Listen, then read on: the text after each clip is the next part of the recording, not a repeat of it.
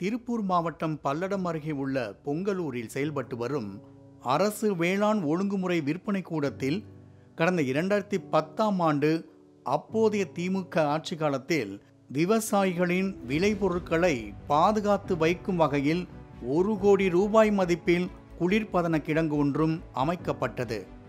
அதன் பின்னர் ஆட்சிக்கு வந்த அதிமுக ஆட்சியில் கிடங்கு முறையாக பராமரிக்கப்படாமல் கடந்த பத்து ஆண்டுகளாக செயல்படாமல் இருந்து வருகிறது. குளிர்பதன கிடங்கை சுற்றிலும் புதர்கள் மண்டி பயன்படுத்த முடியா நிலையில் உள்ளது. அத்துடன் ஆறாயிரத்து நூற்று பத்து மெட்ரிக் டன் அளவு கொண்ட நான்கு கிடங்குகளும் முறையான பராமரிப்பு இன்றி ஷட்டர்கள் இன்றி அரைகுறையாக காட்சியளிக்கின்றது. அத்துடன் ஒழுங்குமுறை விற்பனை கூடத்தை தனியாருக்கு தாரை வார்த்துள்ளதாக அப்பகுதி விவசாயிகள் மற்றும் சமூக ஆர்வலர்கள் புகார் தெரிவிக்கின்றனர். ஒரு இந்த பல வகையெல்லாம் வந்து விவசாயிகளுக்கு வந்து விடாத ஒரு தனியார் நிறுவனத்துக்கு வந்து ஒரு கிங்ஸுங்கிற வந்து ஒரு நிறுவனத்துக்கு வேண்டி அந்த பழங்கள்லாம் கொண்டாந்து வச்சிருக்கிறாங்க. இத்தனை பார்த்தீங்கன்னா சுற்றுவட்டார பகுதியில் பார்த்து பார்த்தீங்கன்னா பூராமே விவசாயிகள் இருக்கிறாங்க. அவங்களுக்கு வந்து சரியான வந்து ஒரு விழிப்புணர்வு வந்து இந்த அதிகாரி வந்து ஏற்படுத்த மாட்டேங்கிறாங்க.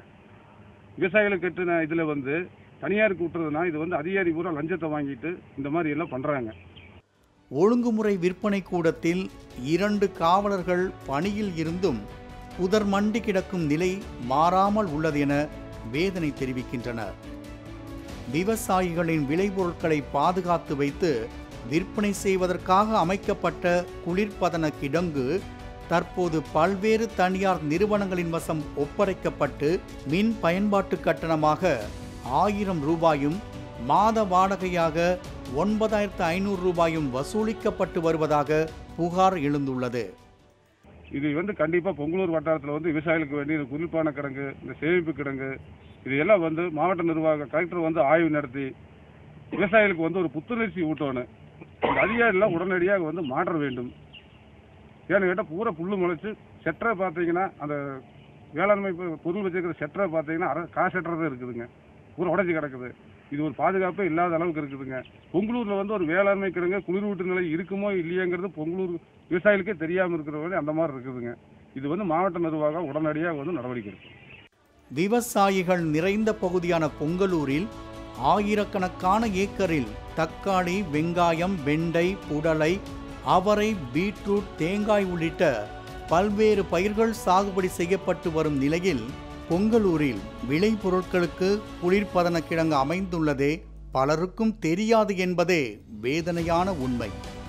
தற்போது திமுக ஆட்சி பொறுப்பை ஏற்றுள்ள நிலையில் ஒழுங்குமுறை விற்பனை கூடம் வேளாண் குளிர்பதன கிடங்கு ஆகியவற்றை தனியார் வசம் இருந்து மீட்டு முறையாக சீரமைத்து பயன்பாட்டிற்கு கொண்டு வர வேண்டும் என்பதே அப்பகுதி விவசாயிகளின் கோரிக்கையாக உள்ளது. அதிகாரிகள் நடவடிக்கை எடுப்பார்களா? பொறுத்திருந்து பார்ப்போம். மாலை முரசு செய்திகளுக்காக பல்லடம் செய்தியாளர் சுரேஷ்குமார்.